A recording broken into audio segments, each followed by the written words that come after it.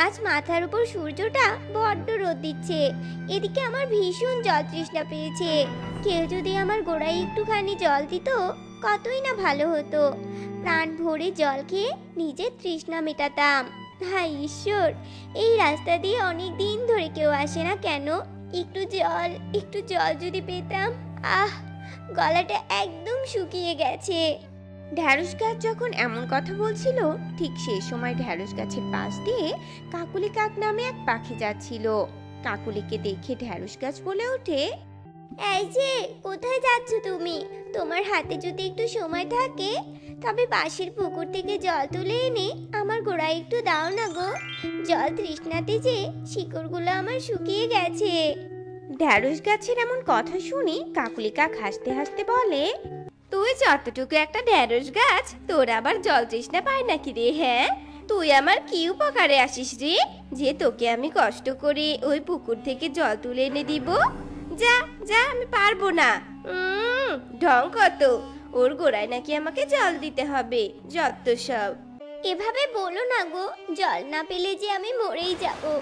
দেখছ না কেমন অবহেলা অযত্নে আমার গাছের পাতাগুলো শুকিয়ে যাচ্ছে?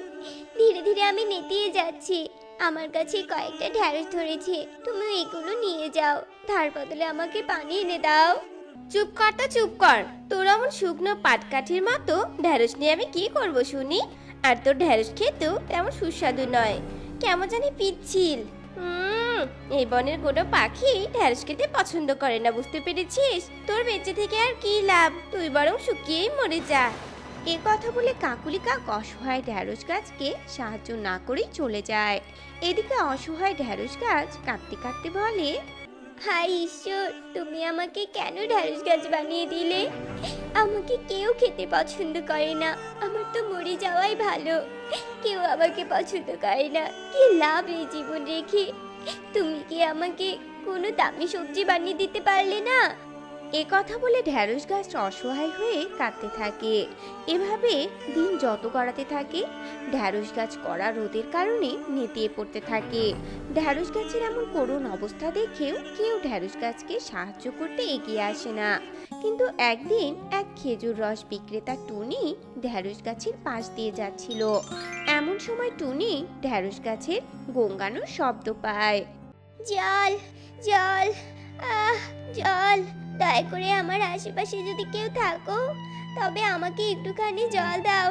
আমি যে আর সহ্য করতে পারছি না। কেউ কি সাহায্য করার মতো নেই? আমাকে দয়া করো। ঢ্যাঁড়স গাছের এই অবস্থা দেখে টুনির মনে ভীষণ মায়া হয়। আর টুনি বলে আহারে ঢ্যাঁড়স গাছটার কি করুণ অবস্থা হয়েছে।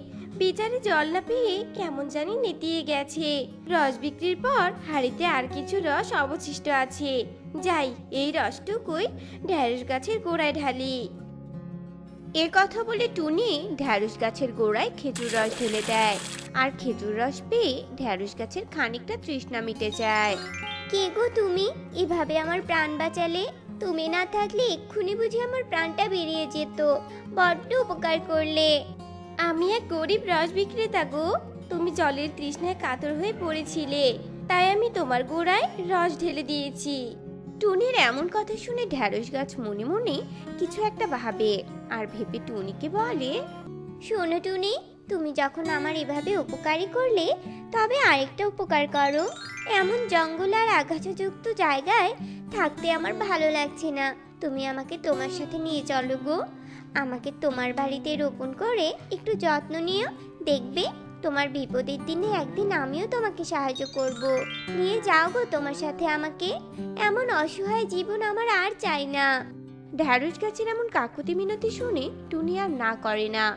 এরপর টুনি ঢ্যাঁড়স গাছকে তুলে তার বাড়িতে নিয়ে যায়।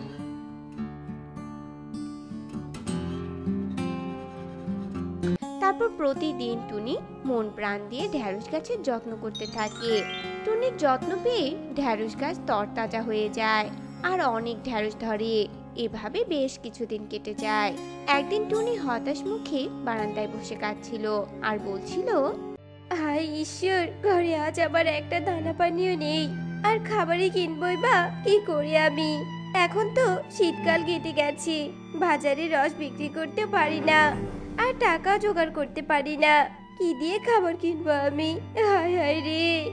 টুনি যখন কাঁদতে কাঁদতে এসব কথা বলছিল, সে সময় টুনির কান্না দেখে ঢ্যাঁড়স গাছ বলে ওঠে, শোনো, তুমি আর কেঁদো না।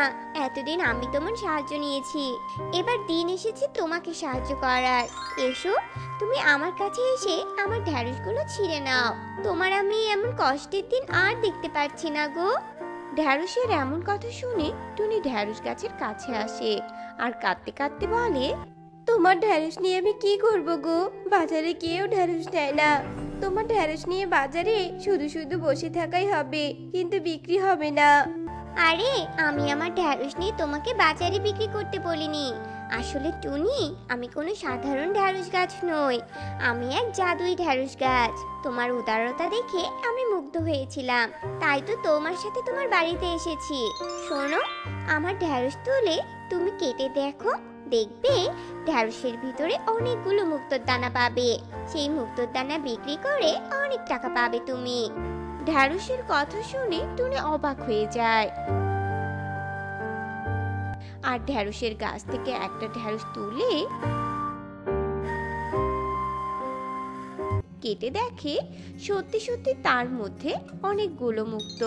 তা দেখে টুনি ভীষণ অবাক হয়ে যায় আর খুশি হয়ে বলে, এ কি? সত্যি তো? ঢ্যাঁড়স গাছ যা বলেছে তাই সত্যি হয়েছে। এ তো দেখছি একটা ঢ্যাঁড়স কাটাতেই কতগুলো মুক্তার দানা বেরিয়ে গেল।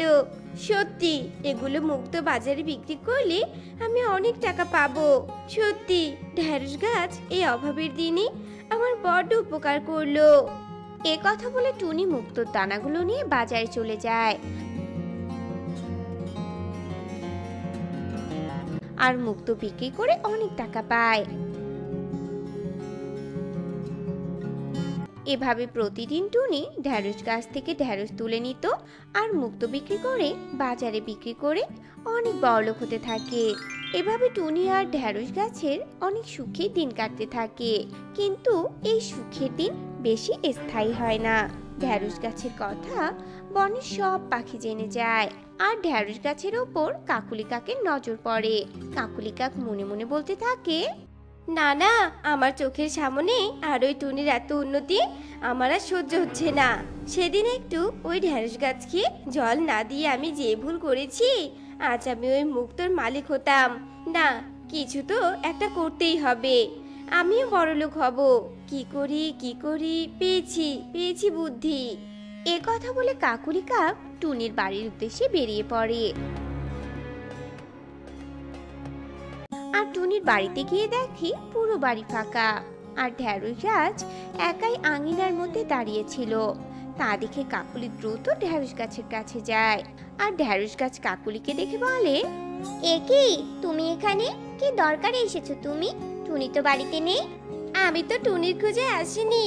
আমি তো তোর গাছ থেকে তোর মুক্ততে ভরা ঢ্যাঁড়সগুলো নিতে এসেছি রে। আমিও টুনির মতো বড় লোক হতে চাই বুঝতে পেরেছিস? এ কথা বলে কাকুলি কাক যেমনি ঢ্যাঁড়স গাছের দিকে হাত বাড়ায় তখনই ঢ্যাঁড়স গাছ একটা বিষধর সাপে পরিণত হয়। তুই আমাকে এমনিতে সাহায্য করিসনি আমাকে অবহেলা করেছিস। আর যেমনি শুনলি আমার ঢ্যাঁড়সে মুক্ত আছে তখনই লোভে পড়ে মুক্ত নিতে এসেছিস। দাঁড়া আর তোকে আমি আমার বিশ্ব বলে প্রাণ কেড়ে নিব। সাপের এমন কথা শুনে কাকুলি কাক ভীষণ ভয় পেয়ে যায়। ও মা গো, আমার দরকার নেই মুক্তর আগে নিজের জীবন নিয়ে পালাই। এত অল্প বয়সে আমি সাপের বিষে মরতে চাই না। এ কথা বলে কাকুলি কাক পালিয়ে যায়। কাকুলি কাক পালিয়ে যাওয়ার পর পরে সাপ রূপ পাল্টিয়ে ঢ্যাঁড়স গাছে পরিণত হয়। এদিকে টুনি এসবের কিছুই বুঝতে পারে না। এরপর থেকে টুনি ঢ্যাঁড়স গাছের মুক্ত বিক্রি করে সুখে দিন কাটাতে থাকে।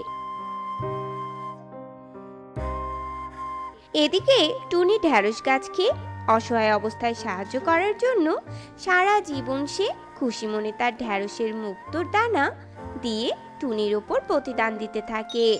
তো বন্ধুরা, আমাদের আজকের গল্পটি তোমাদের কাছে কেমন লেগেছে তা কমেন্টে জানাতে ভুলো না কিন্তু।